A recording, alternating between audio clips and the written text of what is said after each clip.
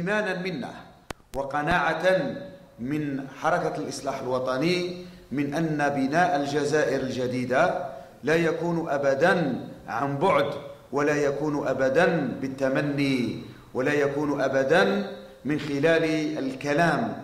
ولكن بناء الجزائر الجديدة يكون حتما بالصبر والمصابرة والمرابطة وبالتواجد في الميدان وبالعمل مع كل الفاعلين مع كل الذين يقاسموننا قناعتنا ولهم من التوجه ولهم من القناعة ما يجعلهم أيضا من المساهمين في بناء الجزائر الجديدة.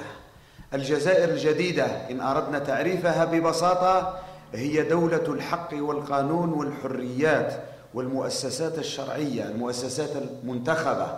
بصورة شرعية من خلال صندوق شفاف ونزيه.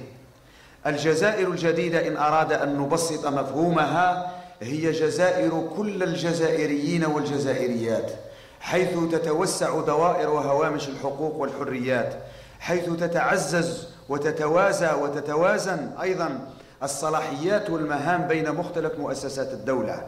هي كذلك الكرامة لكل فئات المجتمع هي أيضا كذلك القطيعة. الجزائر الجديدة هي أيضا القطيعة النهائية مع الفساد.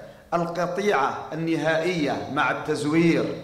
القطيعة النهائية مع المال الفاسد الذي أضر بالعملية السياسية.